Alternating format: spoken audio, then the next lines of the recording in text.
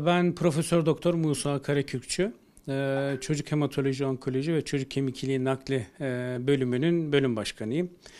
Ee, yaklaşık 20-25 yıldır da lösemili çocuklarla ve kemik iliği nakliyle ilgileniyorum. Son dönemlerde e, Kanka isminde e, bir hastanenin inşaatını yürütüyoruz. Yürütüyoruz derken hastanenin inşaatını Kanka Derneği yürütüyor. Kanka'nın açılımı da Kansere Karşı Birlikte Derneği. E, bu dernek e, Sayın e, Bakanımız Mehmet Özsaseki başta olmak üzere Kayserili hayırseverlerin yardımlarıyla onlardan aldıkları e, bağışlarla şu anda hastaneyi bitirmeye çalışıyor. Ee, inşallah hastanenin e, iki ay e, sonrasında Mayıs veya Haziran aylarında da bitirmeyi planlıyoruz. Ve e, cidden e, kemik iliği nakli ve hematoloji onkoloji alanında ciddi büyük bir hastane olacak. Tabii bu arada ben e, bu hastanenin bitimine az kala e, bize yardım eden e, Sayın Mehmet Özsaseki başta olmak üzere Kayseri'de belediyelerimize, e, Büyükşehir Belediye Başkanımıza, e, Mimar Sinan, Koca Sinan ve Talas Belediye Başkanlarımıza özellikle de teşekkür etmek istiyorum. E, onların katkılarıyla, Kayserili hayırseverlerin katkılarıyla şu anda yaklaşık 70-80 milyona mal olan Türkiye'nin en büyük, belki de Avrupa'da sıraya girebilecek bir hastanesinin inşaatını bitirmek üzereyiz. Şimdi yapılacak hastanede özellikle kemik iliği nakli olacak. Çocuklarda kemik iliği nakli olacak.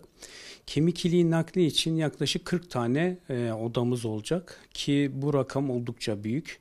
E, şöyle söyleyebiliriz Türkiye'deki en büyük çocuk nakil merkezleri İstanbul'da, Ankara'da 15 yataklı, 16 yataklı. Burası 40 yataklı bir merkez. Ee, bunun dışında diğer çocuk kanser vakaları da burada tedavi alabilecekler. Hem hematoloji kan hastalıkları hem de kanser hastalıklarının tedavi edildiği bir merkez olacak. Aynı zamanda talasemi merkezi olacak. Bunun da bunun içinde yurt dışından e, dışından akreditasyon alıyoruz. Aynı zamanda hemofili merkezi olacak. Ee, bu hastalarımız da ciddi problemli hastalarımız ve bunların da tedavileri burada çok rahat yapılabilecek.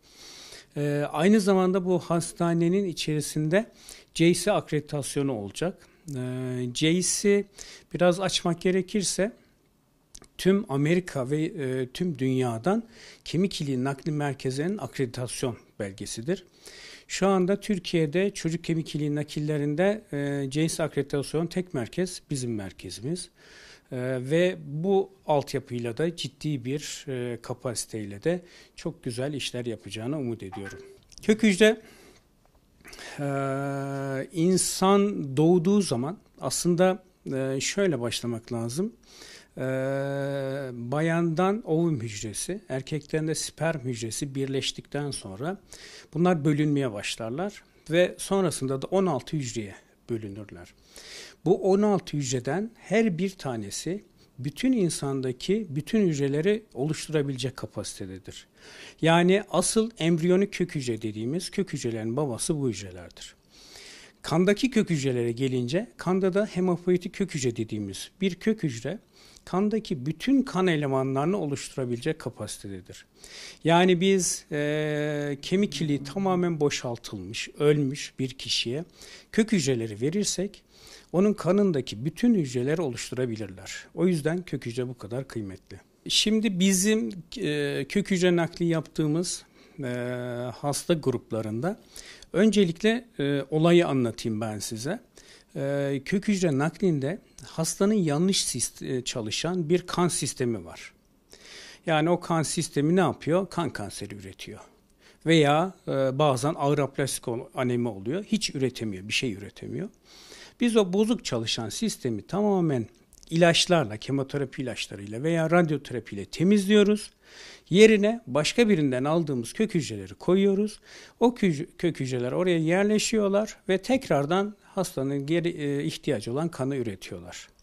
Bu kemik iliği naklinin e, olu, yapım mekanizması. Şimdi biz pek çok hastalığa kemik iliği nakli yapabiliyoruz. Ee, bunların içerisinde %50 grup lösemi, lenfoma gibi e, kanser hastaları %50 grupta kanser olmayan ama onun kadar tehlikeli kan hastalıkları. Bunların tabii her bir hastalık için e, başarı şansınız değişiyor ama ortalamaya vurursanız %80'lere yakın kemik iliği naklinde başarı var.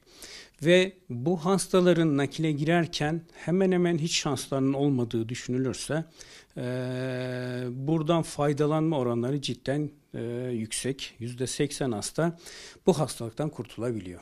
Evet bir kemik iliği nakli yapabilmek için veya kök hücre nakli yapabilmek için kök hücre donörü bulmanız lazım. Biz kök hücre donörü bulabilmek için öncelikle kardeşlerine bakıyoruz hastaların. Ee, bir kardeşin diğer kardeşe full uyabilmesi %25 ihtimaldir. Eğer kardeşler uymuyorsa e, anne babaya bakıyoruz. E, anne babanın uyma ihtimali de yüzde birlerde, ikilerde. Çok düşük. Ondan sonra bazı gruplar akrabaları da e, tarayabiliyorlar ama eğer anne ile baba arasında ciddi bir akrabalık yoksa çok da halasıydı, dayısıydı, teyzesiydi bunlara çok bakmaya gerek yok. Artık Türkiye'de Türk kökü var. Türk kökte şu anda 650 bin kişinin e, doku grupları mevcut ve biz e, oradan tarama yapıyoruz. Herhangi bir hastamız olduğunda oradan e, bulabilirsek verici, oradaki vericiyle naklimizi yapabiliyoruz. Ben e, özellikle gençlere şunu önermek istiyorum. Şimdi bir kök hücre donörü olmak. Yani siz aslında genç arkadaşlarımızın yapacağı şeylerden bir tanesi ee, bir kök hücre donörü olabilirler. Ne yapmaları gerekiyor? Kızılay'a gidip 3 tüp e, kan verecekler ve oradaki kanla doku grupları belirlenecek ve Türkiye'nin bu 650 bin kişilik donör havuzuna onlarınki de katılacak. E, halk arasında şöyle bir yanlış anlaşılma var. E, sanki kök hücre donör olunca kök hücresi hemen alınacak, toplanacak bir yerde dondurularak saklanıyor zannediliyor. Aslında öyle değil. Sadece doku grupları belirleniyor. Ne zaman peki kök hücre donörü oluyor? Eğer mesela biz bir hastamıza kemikli nakli düşünüyoruz. Lösemili bir çocuğumuz var. Nakil yapacağız. Donör e, bulabilmek için Türkök'e başvurduk. Türkök'te de sizin isminiz çıktı. Size tekrardan Türkök'ten geliyorlar. Diyorlar ki sen şu tarihte verici olmayı düşünmüştün. Hala verici olmak istiyor musun? İşte orada evet derse bu işlem devam ediyor evet demezse e, hastayı e, verici kimse zorlamıyor. İlle de kök hücre vereceksin diye. O yüzden e, genç arkadaşlarımız korkmasınlar. Kızılay'a gidip e, doku gruplarını e, çalıştırıp oraya bağışlarlarsa e, belki de gün gelir bir çocuğa, bir kişiye e, tekrardan hayat verebilirler. Bir de e, Ramazan'a yaklaşıyoruz. Ee, bizim hastalarımızda kan bulma ihtimalimiz giderek azalıyor. Çünkü biliyorsunuz şu anda Covid var. Covid'den dolayı e, zaten hastaneye insanların gelişi e, ve e, kan verme, bağışlama oranları çok azaldı. Bir de Ramazan'dan dolayı kan verme bağışçıların gelme durumu azalacak ve bizim stoklarımız giderek azalıyor. O yüzden e, ben e, bütün e, arkadaşlarımıza kan vermeleri için çağrıda bulunmak istiyorum sizin vasıtanızla.